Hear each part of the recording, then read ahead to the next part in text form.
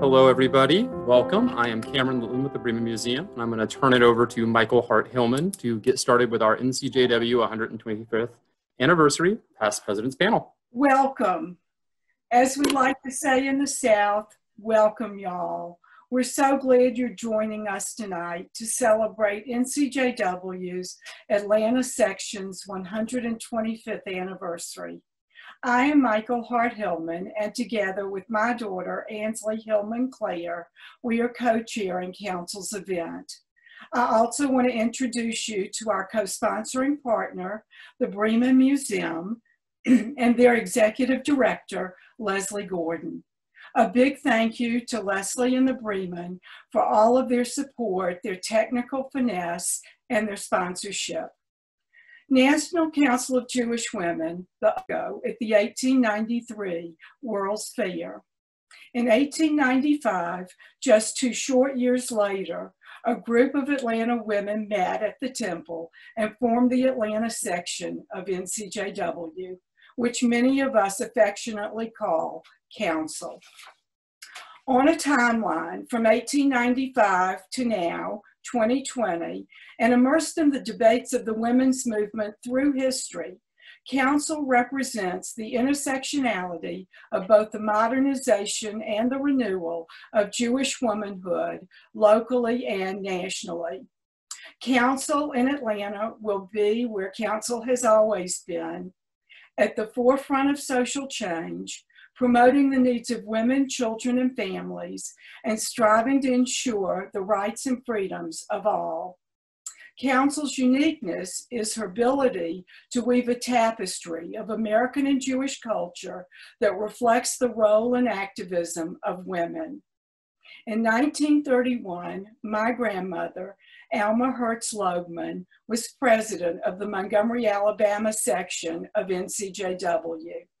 My mother, Carol Loebman Hart, followed in her footsteps. And now, with my daughters, Annsley and Brittany, we represent four generations of council women.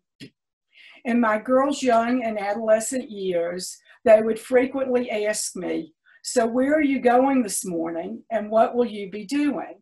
And I would say to them, I'm going to a Tzedakah party, I'm going to another meeting at council. As we zoom around together tonight, please listen for historical and generational information that our remarkable and accomplished panelists will share. As they reveal their stories, they will illuminate NCJW's rich and illustrious contributions to our Atlanta community. Tonight, my council experiences have come full circle my very dear friend and mentor, Marilyn Shubin, installed me as the evening branch president in 1975. Now it is my heartfelt honor to introduce you to NCJW's 1967 69 president, Marilyn Shubin. Good evening.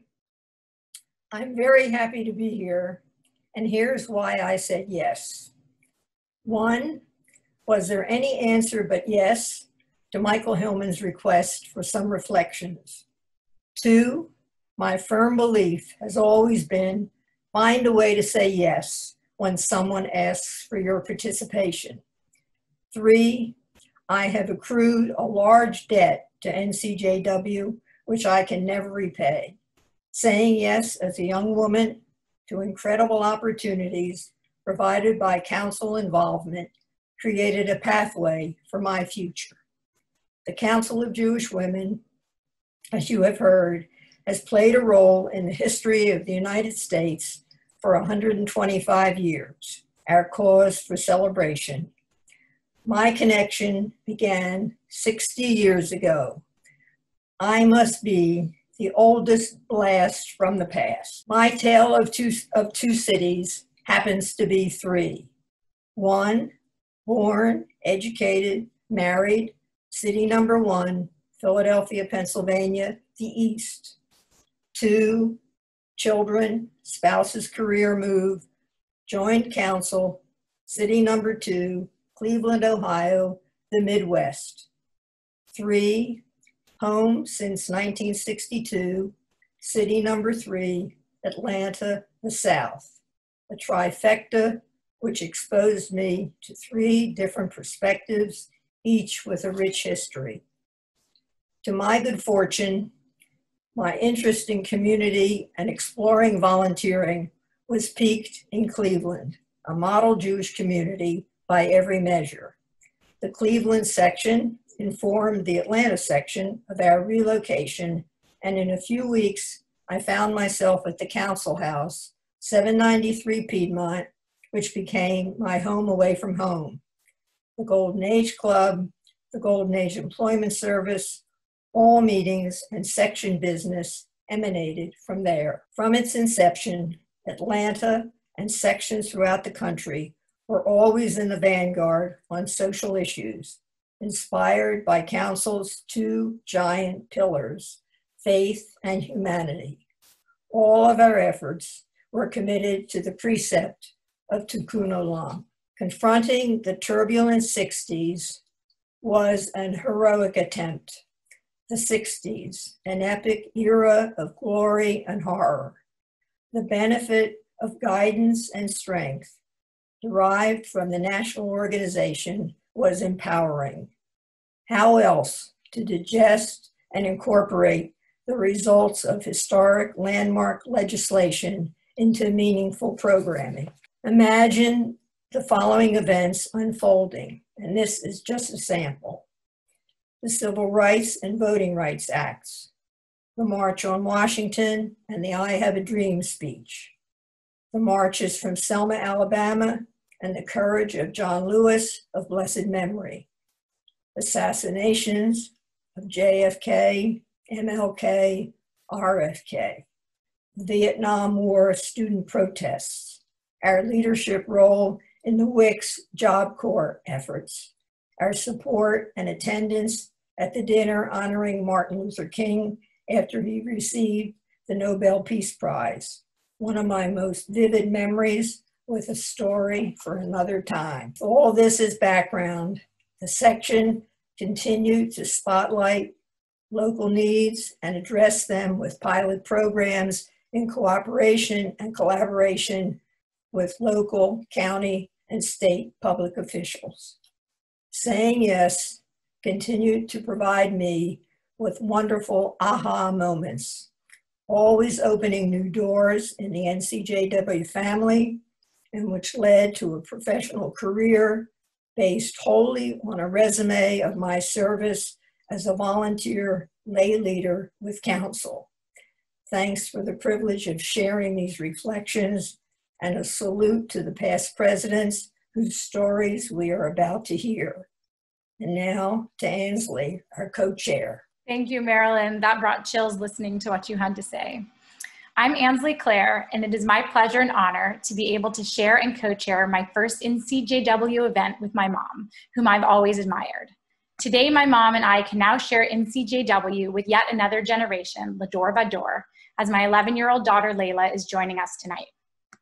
My introduction to, to NCJW probably started in diapers, with my mom dragging me all around her to the meetings. And it continues to this day as I watch and engage with passionate Jewish women who have come together to advocate and educate around women and children's issues.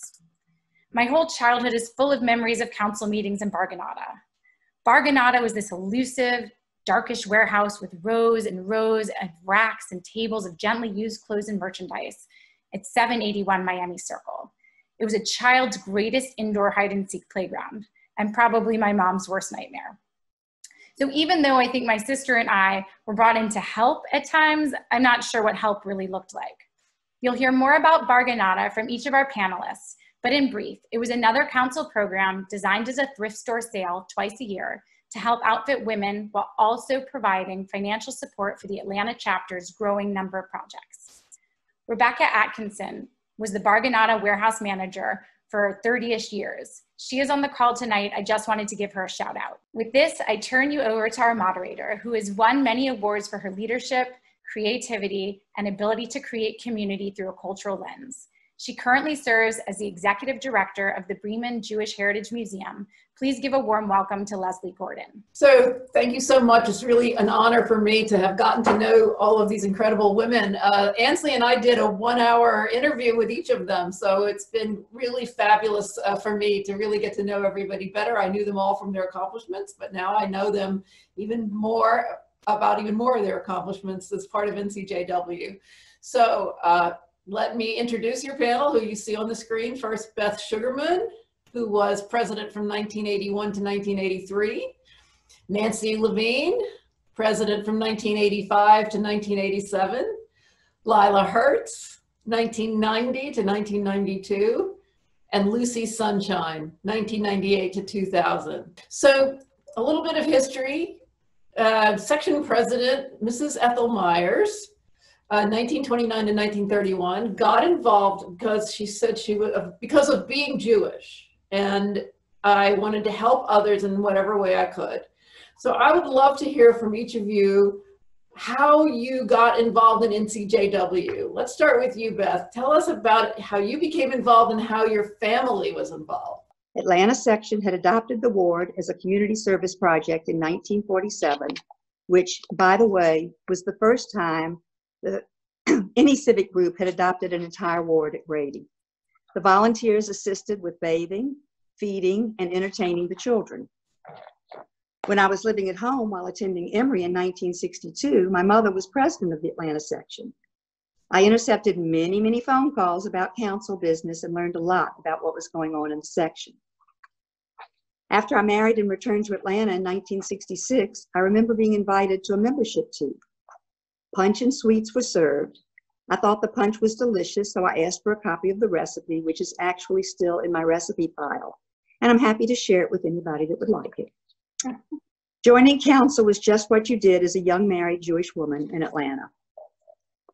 I served in many different roles throughout the years, including bulletin editor, Bargainata chair, secretary, community services vice president, and in 1981, had the honor of being installed as president of the Atlanta section by my mother. It was quite meaningful for me to be carrying on the work that was such an important part of my mother's life. Today, I am thrilled that on September the 1st, my daughter Pam Sugarman, also an Atlanta section member, will begin presenting a five session program for Atlanta section members on seeing whiteness for anti racist action.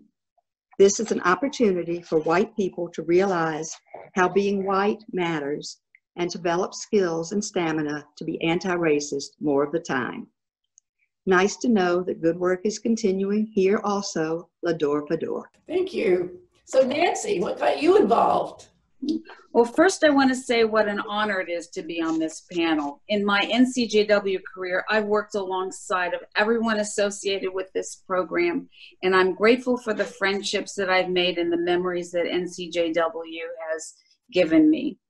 When Marshall and I moved to Atlanta, we had an 18 month old. I was pregnant with my second child, and I didn't know a soul.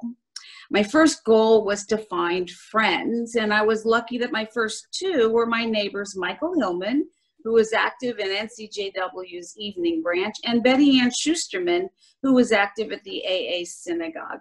I was deeply impressed with their love for both of these organizations. And in time, I too loved them and was honored to serve as president in both. My husband, Marshall, met Mark Silverman at Piedmont Hospital, and Mark and Diana invited us to dinner two weeks after we moved to Atlanta. At that time, Diana was president of NCJW, and um, she invited me to the opening meeting. When I arrived, um, Diana sat me at a table with her friends. Everyone was extremely warm and welcoming. NCJW impressed me immediately for the following reasons. Jewish was its middle name. NCJW was a national women's organization that was not associated with a national men's association. And NCJW's issues reflected my own women and children, the elderly, and Israel. I signed up on the spot. Fabulous. Thank you. Lila, what's your story with NCJW? Good evening, and thank you so much for inviting me to do this. And I too enjoyed our one hour phone call, um, Annsley and Leslie. That was really good to get to know you and to go over things uh, from the past. My mother in law, when I moved to Atlanta, I was also very young and newlywed, and my mother in law introduced me to who would become my very closest friend in Atlanta on our first lunch date. And a few years later, we both had children and uh, we were at home and getting a little bit fidgety and wanting to do some good for the community. So I went back to my mother-in-law again and I said, what should I do with my time? Where, where, what organization should I join? And she said, the National Council of Jewish Women. You've got to join NCJW. Of course, everybody called it council then, but we then were, were instructed to call it NCJW. So um, I joined, I had a very uh, young baby. So uh, Annsley, you were not the only child in diapers in the Bargainata warehouse. And one of my first jobs was chairing, co-chairing Bargainata with my closest friend. And um, it, it was, and then I went on to do all kinds of other things. I think I was vice president of almost every department and then became president in 1990. And I am very honored to have had this um, experience. Thank you. Thank you. Luci, share your story about your involvement. Well, I was always involved in NCJW. My mother was a president of Houston section. And when we moved to Atlanta in 1964, when I was 12, of course, the first thing she did was contact NCJW. And I just came along.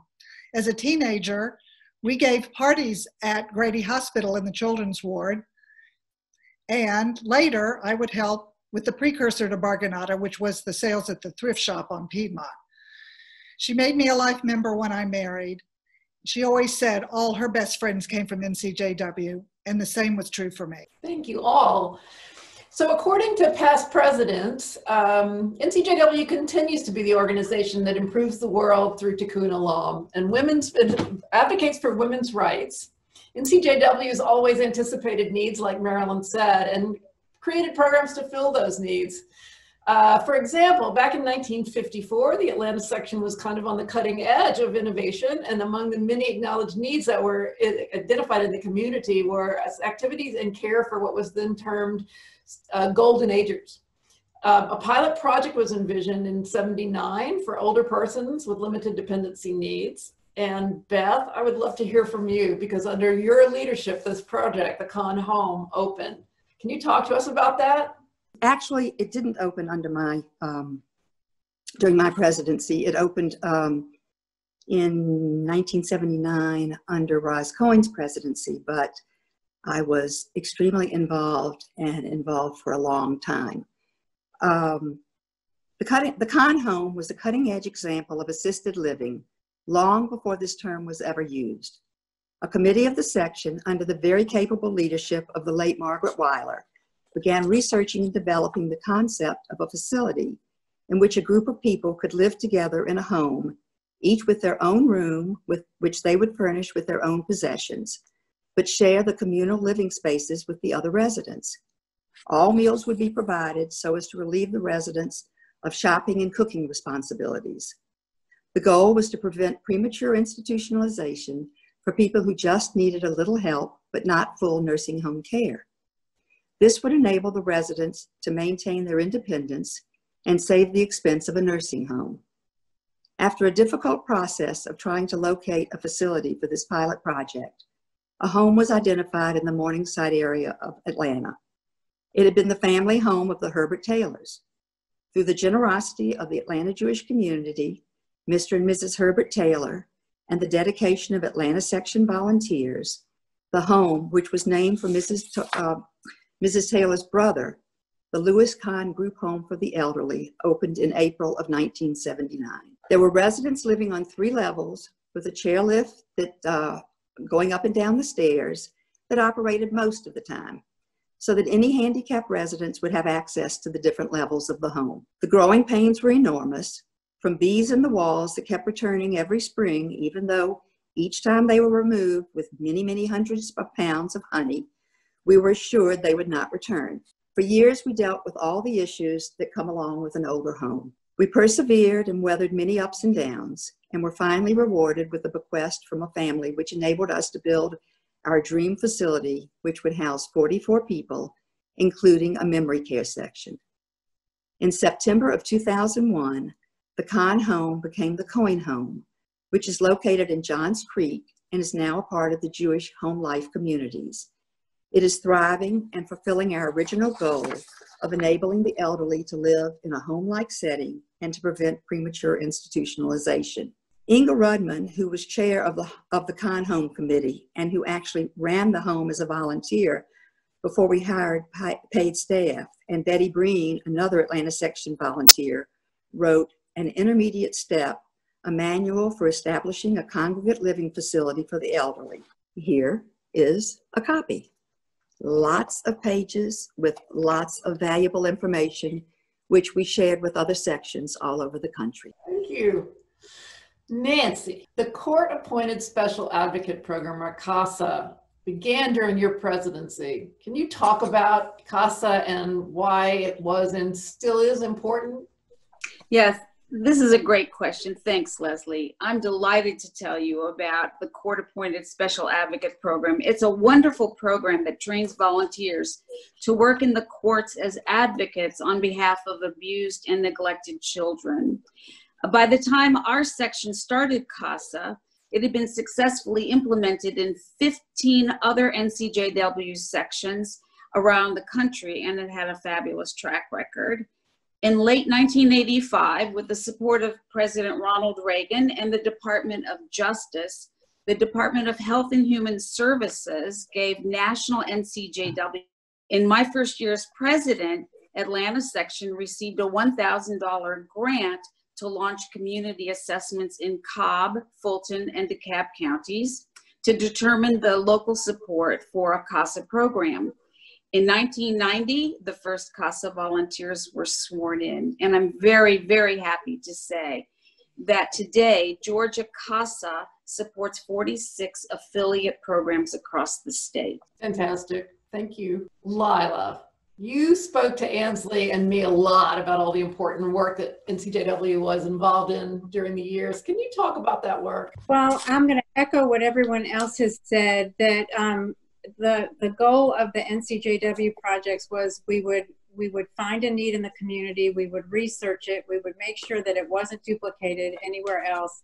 We would take it on and then we would spin it off to the community.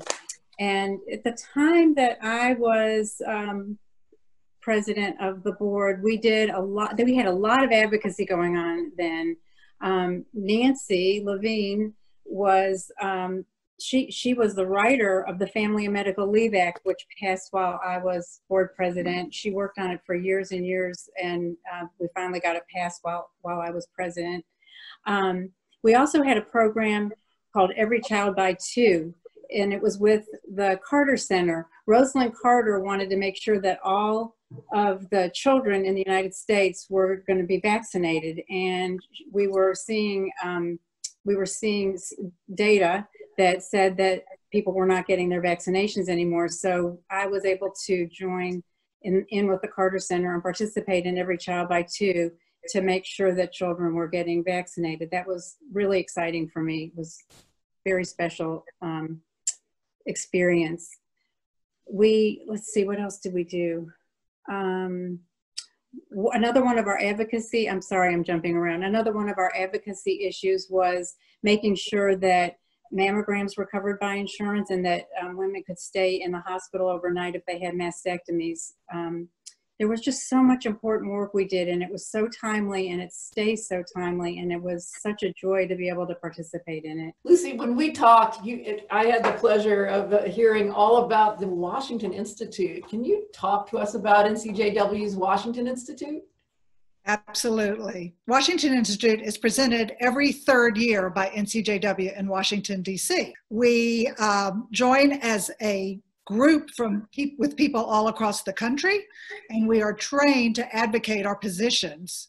And after hearing from many speakers during the week, one year we had Janet Reno, we spend the last day in the offices of our representatives and senators.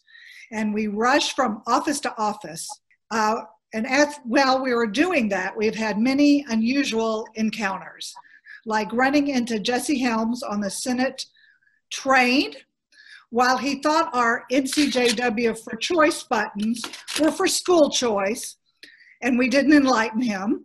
He was a gallant Southerner gentleman, and he personally escorted us to Sam Nunn's office. And speaking of Sam Nunn, one time we were there, he was in an Armed Services Committee meeting. When he found out we were out in the hallway, he came out with all his aides and met with all those Jewish ladies. And of course, John Lewis was always welcoming, welcoming, us to his office, and he always gave out little bags of peanuts. Great, thank you. Education and children have always been one of the primary concerns of NCJW, and the Atlanta section's initial efforts were directed toward the formation and successful continuation of the free kindergarten program for Atlanta public schools. The Atlanta section also became part of the coalition of women's organizations that provided substitute teachers so that Atlanta teachers could attend sensitivity sessions during desegregation. And in 1968, a day treatment center for emotionally disturbed preschool children, the first of its kind in Atlanta, was opened under NCJW's leadership. So Beth, a lot of thought and planning went to make sure that all children were thought about all, all, all the time over the years can you talk about education advocacy and programming over the last years? Thanks for mentioning the, uh, the early programs, um, Leslie. An additional important example of programs is Ship-a-Box, which was started nationally in 1946. Locally, we sent toys, crayons, coloring books, and handcraft material to child survivors of Nazi Germany and later to children in Israel. Atlanta section members are still participating today by making contributions on our birthdays. In the late 70s, an innovative program was developed by the NCJW Research Institute for Innovation in Education of the School of Education at Hebrew University in Jerusalem. Try saying that fast. Known as HIPPY, the program was developed to address the needs of women and children who had recently immigrated from Ethiopia, Eastern Europe, and Central Asia. The program trained mothers in their homes to talk, read, and interact with their children to help them with the skills they would need when starting school. It was similar to the Head Start program, but there was an additional critical component of HIPPY. Of great importance was the benefit to the mothers. As a result of their backgrounds, these women had very low self-esteem. By training them in their homes to teach their own children, they themselves gained the self-confidence to enable themselves to better adjust to their new lives in Israel. Atlanta section participated by raising funds for this critically valuable program. When Hillary Clinton was First Lady of Arkansas, she uh, went to Israel and learned of the program and subsequently implemented it for the entire state of Arkansas. And it is still today active uh, throughout the world. Hello Israel was a pilot program developed by our national organization to complement sixth grade social studies lessons on the, on the Middle East. In its first year in 1991, it was presented to over 300 public school students in Atlanta. The success was recognized by the Atlanta Jewish Federation when they awarded us a grant for the program. During my administration, a group of working mothers recognized the need for childcare. As the Atlanta Section NCJW Child Care Committee, they researched and developed a guide. And here it is for establishing accredited child care facilities and Mother's Morning Out programs. This led to the establishment of a Mother's Morning Out program at Or VeShalom Synagogue, which was subsequent, subsequently replicated by other institutions. And as we are surely aware, safe, affordable childcare is unfortunately still a critical need today. Thank you so much. So, um, Nancy, after your presidency, you became state public affairs chair. Tell us about your involvement with the Family Medical Leave Act. Yes, as, as Lila mentioned, after my presidency, I became the NCJW State Public Affairs Chairwoman for three years. Um, in those days, NCJW had a motto, and it was one woman makes a difference. And um, while I totally believe that's true, being at the state capitol taught me that transformative policy making really requires the voices of many, many people advocating together. I have to say, NCJW really changed my thinking about public policy. I always thought good public policy begins at the federal level and then steamrolls across the states.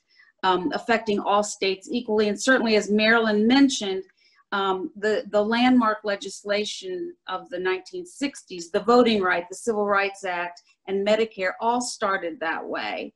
But CASA kind of taught me that maybe good policies also can start in the states. And if they're successful, then maybe they can percolate up to the federal government and become national law. As Beth mentioned, this was happening with childcare legislation. As some of you remember, in the mid 1980s, high quality, affordable, and accessible childcare absolutely did not exist.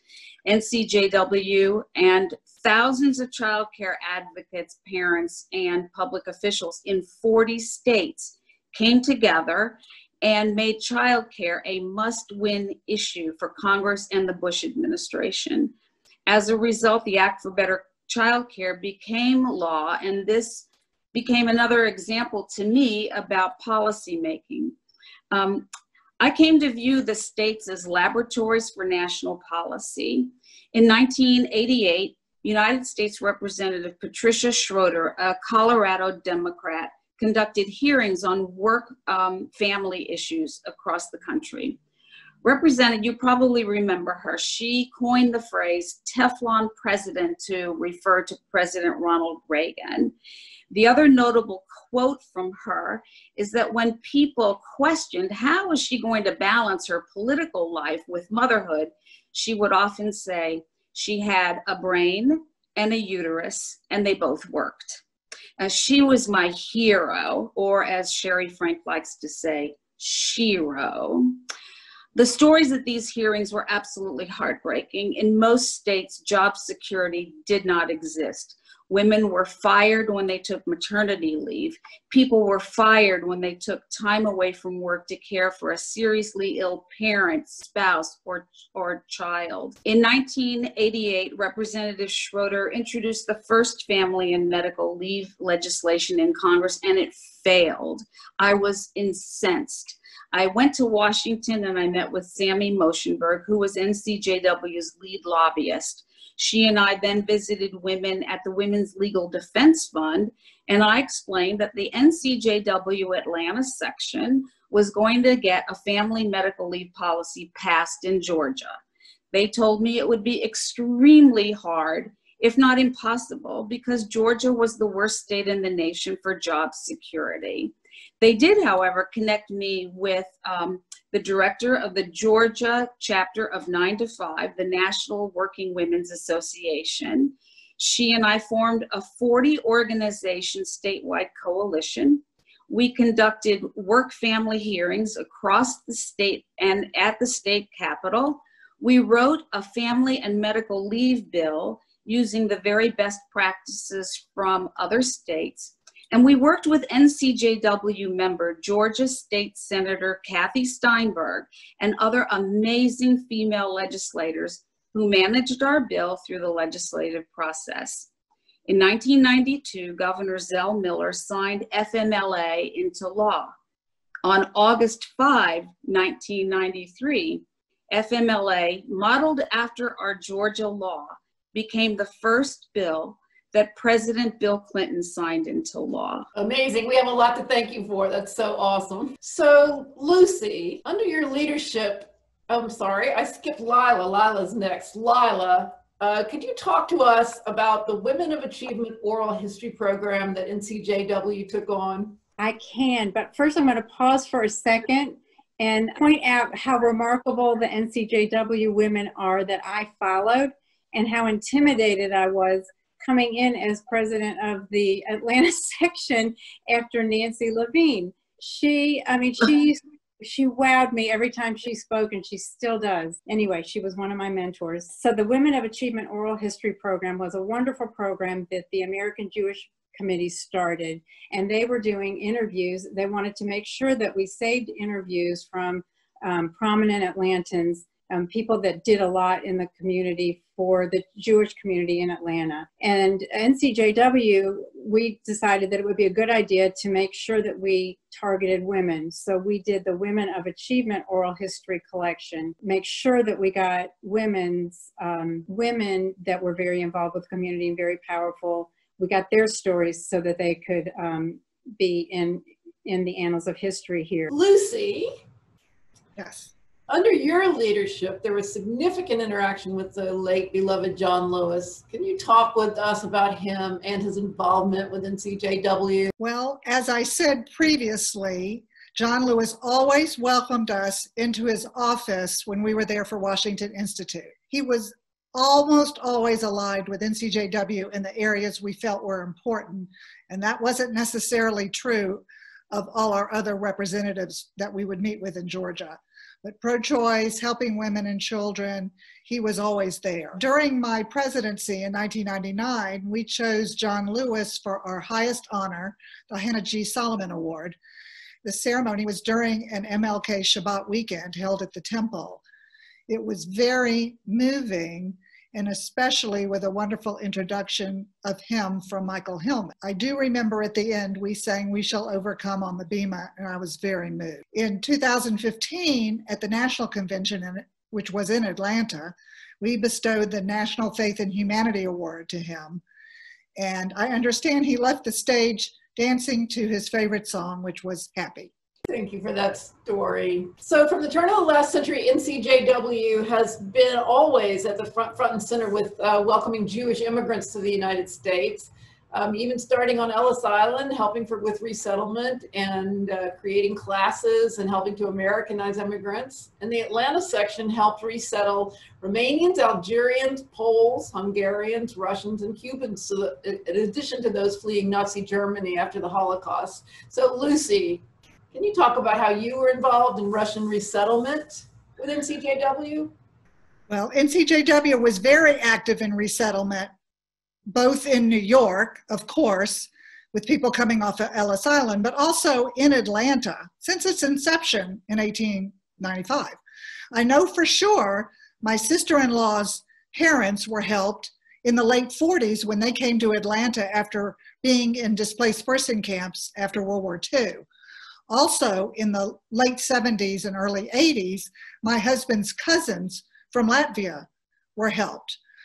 Uh, in the late in the 70s through the 90s, we helped immigrants from many nations, but especially Russians. That was in the height of the Russian um, resettlement. And um, while Federation and JF&CS helped get the apartments, NCJW outfitted the apartments with dishes and glasses, sheets and towels, and filled the refrigerator for the first time. We would set aside those items from Bargainata, donations specifically for that project. And uh, I understand we helped with approximately 450 apartments in the lifetime of the project. Many times, the families also came for clothes to start school and for job interviews. And with all the clothes that we always had around the warehouse for Bargainata, it was so easy. We would set up a dressing room for them and take them into the warehouse and they would be able to pick things for job interviews or school. And we've even helped people for, um, whose houses burned down and had nothing left. They would come in through another agency and we would give them clothes. Thank you so much. So um, I want to turn it over to Annsley now because she, she has some great stories about Bargainata and I think she ought to introduce our next question. Thanks, Leslie. Um, so, and thanks, Luci, for uh, bringing that back to Bargainata as one of my favorite topics. Um, I spoke a little bit about Bargainata in my introduction, but I wanted to share an anecdote that my mom had shared with me. She said when I was little, we had gone to a Purim carnival and I was wearing my brand new clown costume. And a woman had come up to her and said, Oh, did you get that at Bargainata? And my mom said, Well, yes, I did. And she said, Oh, that was my kids and I made it for both of them. So I know that many of y'all have stories to share about Bargainata. I would like to turn it over to Beth and ask her if she can start. Beth, will you start and share with us a story about Bargainata? In the early years, before we had our own warehouse, we would have to set up the sale in donated spaces. We would call Steve Seelig, whose family had a long relationship with council, and he would locate a venue that wasn't rented and would be available for our use for the sale. The second year of the sale, I was co-chairman with Jan Coleman.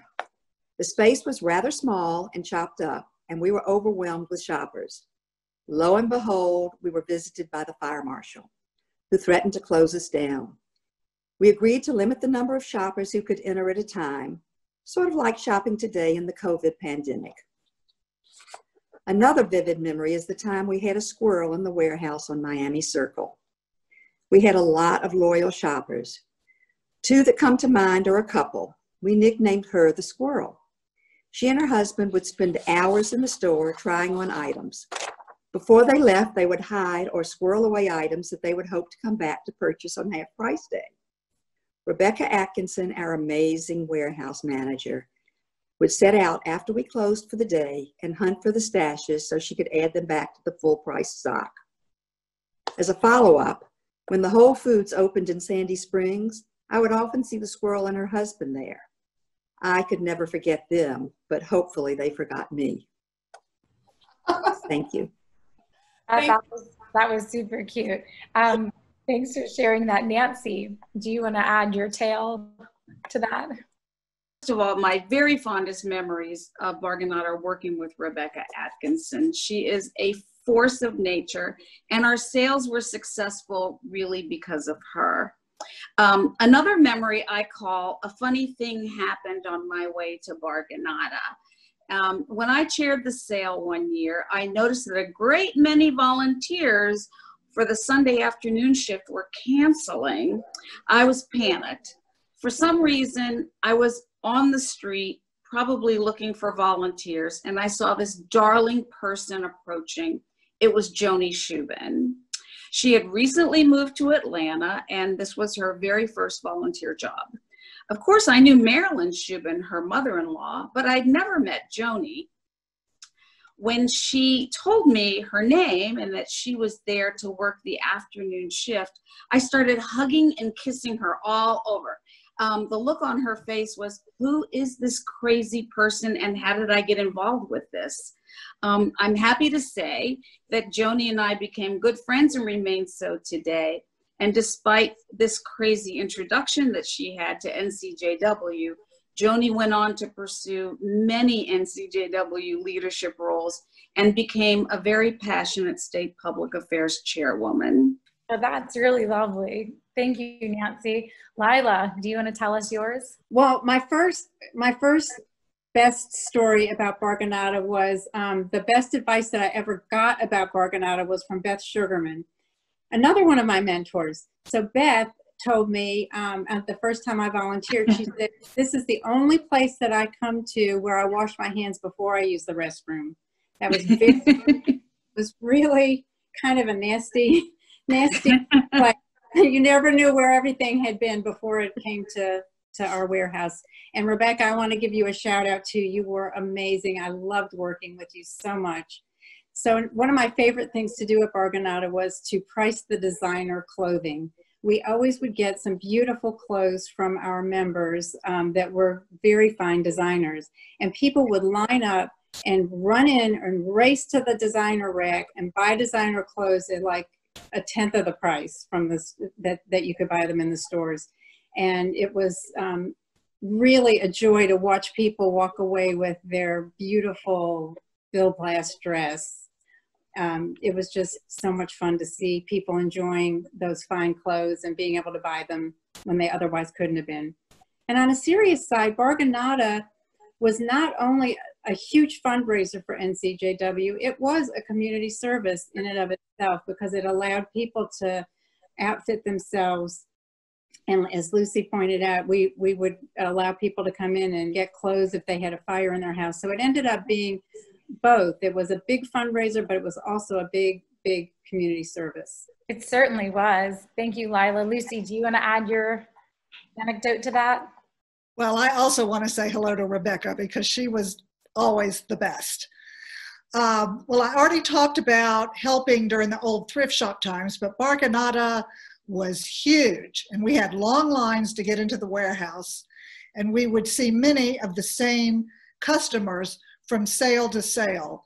One of our most interesting customers were the monks who came in their saffron robes, and they were very good customers. Um, Bargainata had many volunteers just to get ready for the sale, and my favorites were Minnie Kolotkin, who in her 90s drove to the warehouse every Monday to help mark scarves and gloves. Also, and they would come together, Joy Howard, yes, Clark's mom, and Vida Golgar would come to mark clothes. They were always together. I'm going to turn this over now to Annsley for our final question and probably most important one. She's my, been my partner in crime and putting everything together. So thank you, Annsley. Annsley Klehr. Thank you, Leslie. We could not have done it without you and Cameron behind the scenes, so thank you. NCJW is instrumental in training y'all and preparing y'all for your presidency. Can you share how these trainings and experiences have prepared you for your leadership roles outside of NCJW? Beth? You know take a stab at that one first? I i could never have accomplished any of the things that that i've gone on and done without my um, council experience. Um, be it running a meeting uh, parliamentary procedure working with volunteers and i have to say that one of my greatest uh, joys in my in my time as president and working with ncjw was watching the volunteers and and and the new people coming up and watching them learn. And uh, it, it was just it was a terrific a terrific terrific uh, uh, experience. Uh, i went on and worked uh, and was involved in starting genesis shelter which was a transitional housing for homeless newborns and their families. Sometimes the family was the mother and the baby. Sometimes the family was the father and the mother and the baby. Sometimes the family was the father and the baby. Sometimes the family was the mother and, and the grandmother and the baby and, and lots of siblings. Uh, this was a project that was undertaken by 11 different organizations, 10 religious or, organizations, and NCJW. And uh, it, it took a quite a long time to get going, but uh, we raised the funds and we renovated a building at, at the temple and the project is still ongoing. It moved uh, a few years ago to um, Boulevard and uh, has been taken over by our house. So as, as Lila explained, the, the way we operated was identifying an unmet need in the community, establishing a pilot project and then launching that project uh, as its own project or with, with another agency. So um, I've also been involved with uh, Historic Oakland Cemetery and uh, done some fundraising there and the fundraising skills that I gained from NCJW have served me well. Thank you. Uh, thanks, Beth. Nancy, you want to jump in with yours? Yes, thanks, Annsley. Um, as a result of my NCJW experiences and with the incredible support of my wonderful husband and children, I went back to graduate school and completed a PhD in political science.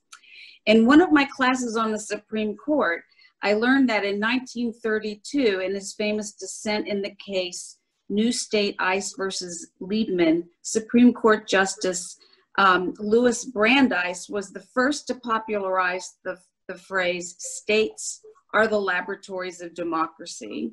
He stated, a state may, if its citizens choose, serve as a laboratory and try novel and social economic experiments without risk to the rest of the country. In 1997, with a grant from the Aspen Institute, my dissertation analyzed all the FMLA congressional roll call votes to demonstrate that FMLA policies diffused across a majority of American states and then percolated up to Congress to become national law. Um, upon completing my degree, I worked as a budget and policy analyst at the Centers for Disease Control and Prevention for 17 years. I will always credit NCJW for teaching me the concept of tikkun olam. Many people have referred to that, but in Hebrew that means repair the world. NCJ, NCJW volunteers genuinely care about others and are willing to do the work necessary to solve the problems and transform society. And it was my NCJW experiences that also led to my involvement and presidency at the AA Synagogue, where I currently co chair the Chesed Committee with my husband. I will always credit my synagogue for teaching me the concept of Chesed, which is Hebrew for acts of loving kindness. Thanks, Annsley. Thanks, Nancy. I, I can't, I spent many a time in your house while you were doing all of that at all the same time. I'm not sure how we ever saw you, but we did. um, Lila, can you follow that up? Yes. NCJW taught me so much. I mean, from um, advocacy, we would go to the Washington Institutes and we would learn how to talk to our national figures, to go and speak with senators and go and speak with our congressmen and down even to the local level. It taught me how to plan a meeting, how to write an agenda, how to work with others. Um, the volunteers weren't always easy to work with, and so we had to learn how to how to work around the volunteers because it's really hard to fire a volunteer. You know, sometimes we wanted to, but we couldn't. Um, it, uh, what else did it teach me? Uh, it the it, the um, Luci touched on this a little bit that NCJW worked on a three-year cycle of the Washington Institute um, one year, and then we would have uh, all kinds of um, meetings another year, and then we would have our business, our annual, triannual business, um, where we would have all the sections come together. So those all taught us different things. I learned how to write a budget. I learned how to read a budget, and it really was a springboard for me for all of the other community work I, I, I did. It gave me practice in um, public speaking. I, I went on to become chair of the Susan G. Komen Foundation here in Atlanta. Um, I also am currently chairing the Alliance Theater Board. I've been involved with Piedmont Healthcare and on and on. So thank you NCJW for teaching me and giving me a, a good base and, and feeding my soul with such smart women. And, and it was an organization and is an organization that wasn't full of fluff. Oh, that was beautiful. Thanks, Lila. Luci, you want to share yours? I agree with everything Lila said. and all those things and more. Our leadership training was second to none. And uh, we were very, very lucky to have funding from the Lipschutz family that allowed us to have all that type of training. So not only did I have local training, but I also had uh, training on the national level for when we went to all those, um, the leadership training or the national events.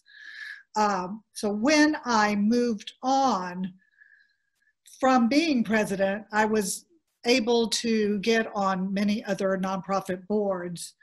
And I felt confident in my abilities to do anything after all of that training. So thank you, NCJW. Thank you for all my friends that helped me when I was president and Bargainata chair and treasurer and all those other things that all of us did to make this a great organization. Well, thank you, Luci. I have so much to look forward to. Yes, you do. Um, and now we turn the program over to a passionate leader who has helped shape the past, present, and future of Jewish Atlanta, Sherry Frank. Sherry served as NCJW's past president from 1973 to 1975 and currently serves as the Atlanta section president once more.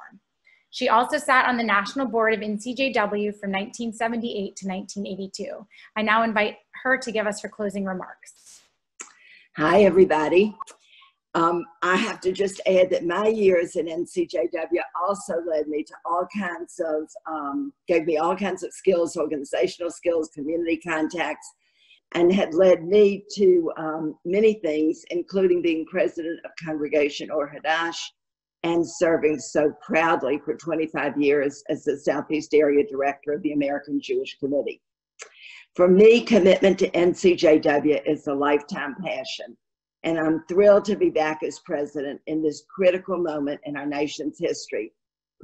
Maybe Maryland, the critical time of the 60s, is really amplified by the critical time of the 2020s, and I'm glad to be right here. So let me thank everybody on this terrific panel. Marilyn Shubin, Beth Sugarman, Nancy Levine, Lila Hertz, and Luci Sunshine. And a special thanks to you, Leslie Gordon, our gracious moderator.